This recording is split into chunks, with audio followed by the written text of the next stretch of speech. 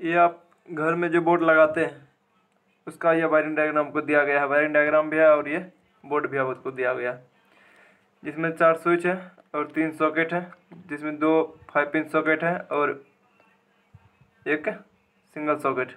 और एक इंडिकेटर है और एक फ्यूज है, एक होल्डर दिया गया इसका कनेक्शन पूरा सिंपल से भाषा में समझ समझेंगे। जैसे मेन लाइन लेते हैं।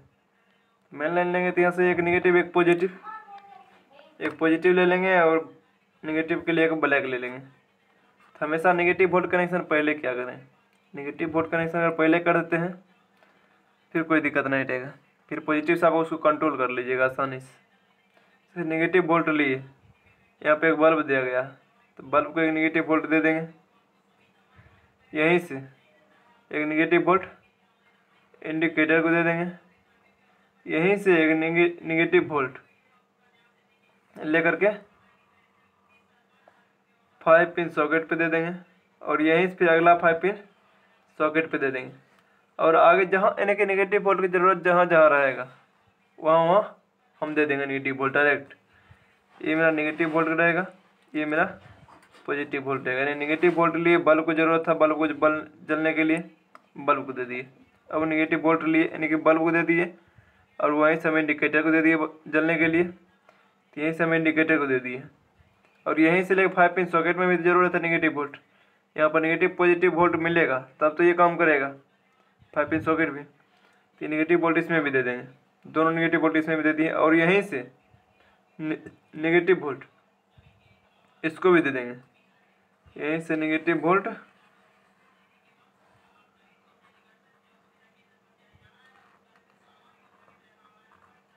सिंगल सॉकेट जो है इसको भी दे देंगे। इस तरह से निगेटिव वोल्ट जहाँ जहाँ ज़रूरत ज़रूरत है, वहाँ वहाँ हम दे देंगे। और पॉजिटिव वोल्ट के द्वारा कंट्रोल कर लेंगे। अब पॉजिटिव वोल्ट पकड़ते हैं तो पॉजिटिव वोल्ट लेंगे सबसे पहले कहाँ देंगे? फ्यूज में देंगे। यहाँ से लेंगे। फ्यूज में दे दिए। अब प्लस वोल्ट जब फ्यूज में आवेगा तो फ्यूज से निकलेगा। फ्यूज का जी में आगे कोई भी सोर्स लगेगा, अधिक लोड पड़ेगा तो ये फ्यूज आपका कट जाएगा। पॉजिटिव वोल्ट जो यहाँ से आवेगा आपका फ्यूज होते हुए इंडिकेटर पर जाएगा और यहीं से पॉजिटिव वोल्ट जहाँ से इंडिकेटर पर जाएगा यानी नेगेटिव और पॉजिटिव वोल्ट मिलेगा। पॉजिटिव वोल्ट इधर से मिल गया और नेगेटिव वोल्ट इधर से मिल गया। तो इधर इंडिकेटर जलना चालू हो जाएगा। यानी बोर्ड में लाइन आया, जब आया हुआ रहेगा तो इंडिकेटर जलना चालू हो जाएगा। और यहीं से पॉजिटिव वोल्ट जहाँ जहाँ स्विच है मेरा, जिसके द्वारा हम लाइन देते हैं, ऑन करते हैं, ऑफ़ करते हैं, वहाँ पर दे देंगे सभी जगह, जहाँ जहाँ ज़रूरत है। ये चारों पे दे देंगे पॉजिटिव वोल्ट ये पॉजिटिव वोल्ट लिए फ्यूज पे इंडिकेटर पे और स्विच पे दे देंगे, सभी स्विच पे डायरेक्ट एक एक पिन पकड़ देंगे, ऊपर वाले पे। ताकि नीचे जब नीचे दबाएँगे उसको, ऊपर ये इस तरह ये ऊपर है, जब दबाएँगे तो ये मेरा इसमें सट जाएगा। ये दोनों आपको, आपस में जुट जाएगा। इस तरह से काम करेगा आपका स्विच अभी सभी स्विच पे आ चुका है अभी। अब जब इसको दबाएँगे, इस पिन को दबाएँगे तो ये ऑन हो जाता है। इसको दबाएँगे, इसको क्या करेंगे, यहाँ से लेकर के, यानी इसमें से लाइन यहाँ आ गया है। अब यहाँ से लेकर के इसमें दे देंगे। ये दोनों, यानी कि यहाँ पर निगेटिव वोल्ट पहले से मिल रहा है पॉजिटिव वोल्ट इधर से मिल गया। तो ये काची काम करेगा। ये इसमें जो चार्जर वगैरह लगाएँगे तो काम करना नेगेटिव पॉजिटिव वोल्ट मिलेगा तो काम करना चालू हो जाएगा। हमेशा पॉजिटिव वोल्ट को ही इसमें दे। इसके द्वारा आप कंट्रोल कर सकते हैं। अच्छा अब यहाँ से लेंगे। एक ये वजह था अब इसमें से किसी के द्वारा भी आप कंट्रोल कर सकते अब इसको लेंगे यहाँ से। अब इसको दबाएँगे। अब इस पिन को दबाएँगे तो फिर ये वाला इसमें सटेगा। और यहाँ से निकल करके ये तार का कनेक्शन इसमें दे देंगे। अब ये जो है, ये भी इसके द्वारा कंट्रोल हो जाएगा। और ये रह गया। और ये रह गया। इसके द्वारा काटेगा इसको जब दबाएँगे। इसके द्वारा हम निकल, इसको जब दबाएँगे। इस पिन को। तो यहाँ से जो करंट है, यहाँ आ जाएगा। और ये जब इसमें आएगा तो यहाँ से निकल के हम इसमें दे देंगे। नेगेटिव वोल्ट पहले से इसमें भी मिल रहा है, और पॉजिटिव वोल्ट यहाँ मिलेगा। तो कच्चे को यहाँ पे? इसमें भी काम करना चालू कर देगा। चार्जर वगैरह जो भी लगाइए, सारा काम करेगा। अब ये रह गया। ये एक्स्ट्रा आपको दिया गया है। अब ये जो है कि इसके द्वारा हम इस होल्डर को कंट्रोल कर सकते हैं। जब इसको दबाएँगे ये होल्डर वाला बल्ब जो है मेन बोर्ड के साथ जो दिया गया है, ये आपका काम करेगा। अब इसको दबाएँगे तो ये इसमें आया और यहाँ से जो निकलेगा। तो इसमें भी पॉजिटिव वोल्ट की कमी है। पॉजिटिव वोल्ट इसमें मिल जाएगा। निगेटिव वोल्ट पहले से मिल रहा पॉजिटिव वोल्ट मिलेगा बल्ब भी जलना चालू हो जाएगा।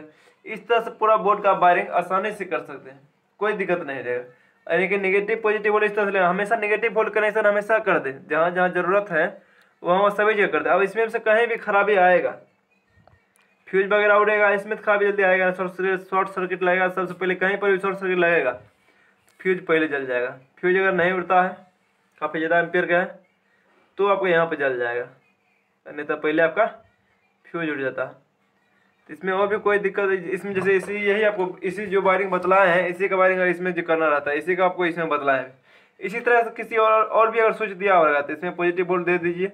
और यहाँ से लेकर के, और पंखा है तो पंखा में दे दीजिए, कहीं और भी दे दीजिए, और निगेटिव वोल्ट डायरेक्ट उसको कर दीजिए। छत में लगा हुआ पंखा तो इस स्विच को दबाएँगे तो इसका पॉजिटिव वोल्ट लेकर के छत वाला पंखा दे देना। और निगेटिव वोल्ट डायरेक्ट ऑलरेडी छत वाला पंखा दे देना, बाहर से। इस तरह आपको छत पंखा भी पंखा को भी कंट्रोल कर लीजिएगा, कोई दिक्कत नहीं रहेगा। इसमें बतलाते हैं।